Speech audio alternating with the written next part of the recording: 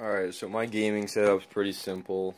Uh, I got my PS4, 42 inch TV, trophies, just for looks. I got my PS3 set up to this TV, which is also my computer monitor. And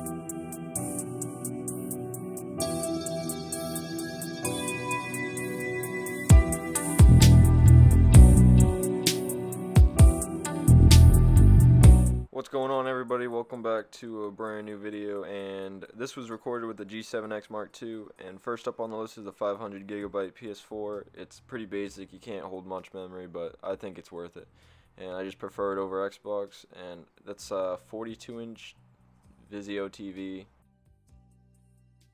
But here's my gaming computer, the link's down below if you're interested but I would really recommend this PC, you can run so many games on it and with no problem and on max settings. So uh, the link's down below if you're interested. And I just have a basic TV monitor set up to it and a basic keyboard. It's it's really nice. I enjoy it. I don't use it a lot because I'm really never home. Next up is the MacBook, uh, 13.3 inch. I use it for editing. I use the iMovie and I'm also going to use it for college so I just thought I had to buy that. I bought that a few weeks ago. And then this is actually the mic I'm using right now. I don't know if there's a big difference and I still have to figure out the settings.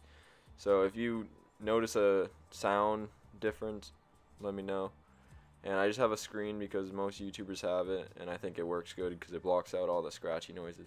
And then over here is my Alexa and my charging station for my camera and for my phone I have Christmas lights around my room. I haven't bought more, but I need to. And just kind of wraps and makes it. I actually like the lighting. I don't know why. It just makes it look better. So this is actually my 2017 Nissan Sentra.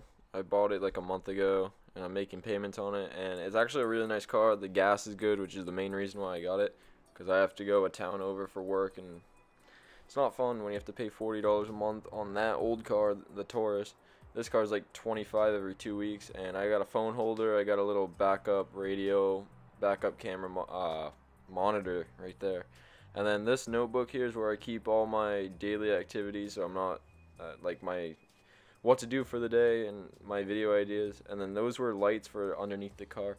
And then finally, I have my iPhone 7 that I had to buy because I got pickpocketed. And then I got my wallet in back so I don't lose anything. And yeah, that was pretty much my 2017 setup. So if you guys enjoyed, make sure to leave a like.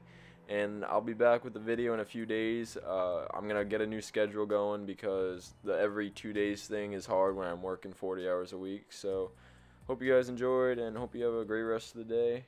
And make sure you leave a comment of what you thought of it.